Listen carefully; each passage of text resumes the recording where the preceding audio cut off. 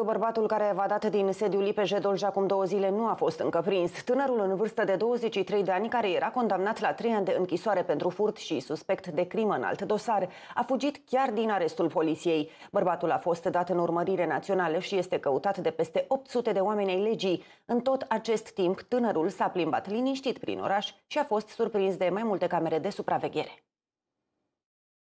Acestea sunt primele imagini înregistrate de camerele de supraveghere din Craiova, care îl surprind pe tânăr imediat după evadare. Bărbatul se plimba liniștit pe străzi în timp ce întreg județul era împânzit de filtre de poliție. Tânărul era închis în penitenciarul de maximă siguranță Craiova după ce ar fi ucis și tâlhărit o femeie în vârstă de 82 de ani. Deținutul a scăpat după ce gardienii l-au scos prin așa numita cameră de plimbare, o zonă împrejmuită cu pereți de beton, sârmă ghimpată și fără tavan. Într-un moment de neatenție al supraveghetorilor, acesta a forțat o ușă veche prin care a reușit să evadeze. În luna octombrie, bărbatul a fost arestat pentru furt, iar când se afla în spatele gratiilor s-a descoperit că ar fi săvârșit și o crimă. În momentul evadării, el fusese adus în centru pentru continuarea cercetării în dosarul de omor.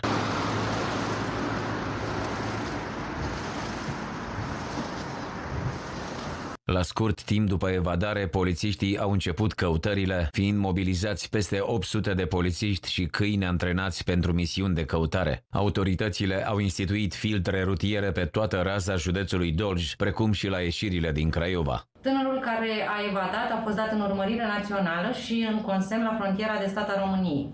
Activitățile de căutare sunt continuate de polițiști în vederea identificării, găsirii, prinderii și reîncarcerării tânărului evadat. În urma incidentului, patru polițiști din cadrul poliției Dolj sunt cercetați penal, fiind sesizat parchetul de pe lângă judecătoria Craiova. Responsabilii sunt acuzați de săvârșirea infracțiunii de înlesnire a evadării potrivit IPJ Dolj.